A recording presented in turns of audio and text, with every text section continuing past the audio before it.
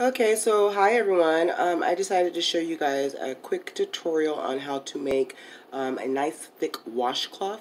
So um, I apologize in advance if you hear a kitty cat in the background. My daughter brought over her cat, so I'm a grandma for the day, which is kind of funny. So anyways, what you're going to need is all cotton yarn. What I have right now is peaches and cream yarn. I absolutely love peaches and cream yarn.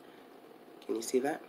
Okay, I have this one, and then I'm just going to use up a bundle that I actually have already laying around.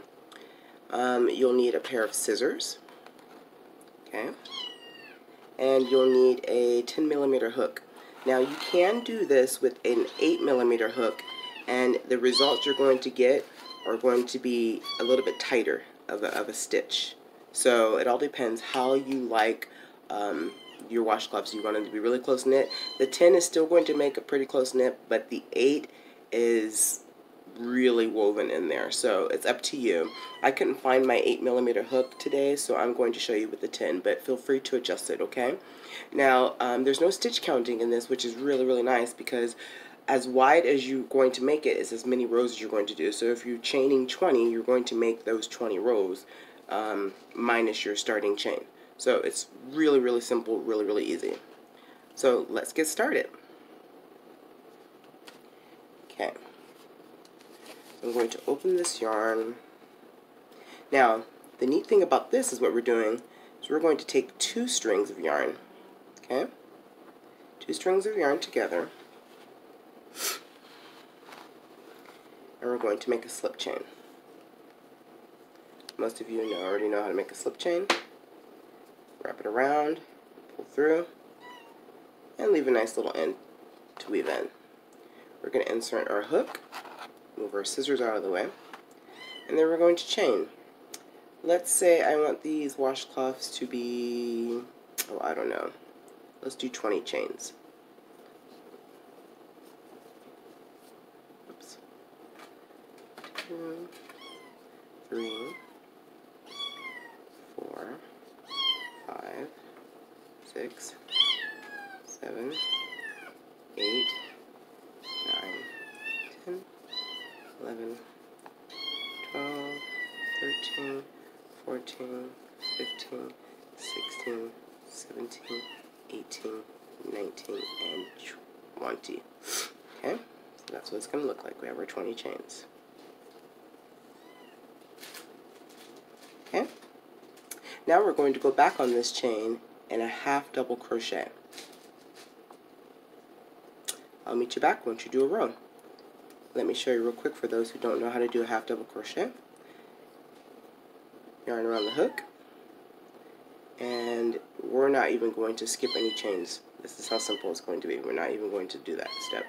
So, except this first one, we're not going to that first one. Okay?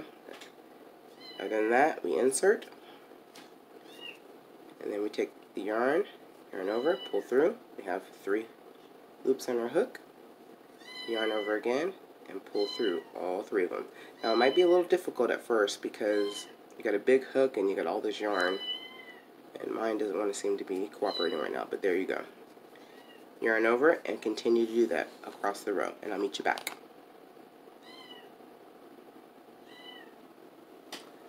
Okay, so we're back at the end of that chain and we have all of our stitches. And then we're just simply going to chain up one. Turn your work.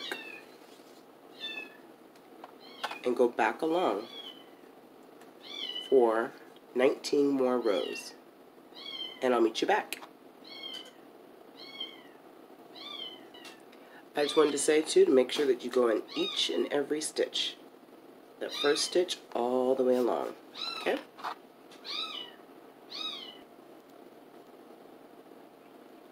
Okay, we're back. Um, I just wanted to show you, hopefully you guys finished your your project. Um, this is one that I had done earlier. Straighten that out a little bit. You can see it. And I decided to add a colorful little hook on mine because this particular one is going to be used for like a dish rag. So you can use these for dish rags or for washcloth, which is really lovely. Um, texturally, you can see how wonderful it looks. Look at that. They fold nicely. You can stack them up and wrap them in a set of three as a gift. So I hope you guys have enjoyed this tutorial. Um, definitely I'll be doing more of these crochet tutorials and just uh, some DIYs and such. I've had my channel for a while, I just haven't been very active, but I plan on changing that this year, so uh, if you desire, subscribe, and I promise to bring more fun uh, tutorials and uh, just different things you can do around the house to spice it up. Be self-sufficient. Alright, we'll see you guys later. Thank you.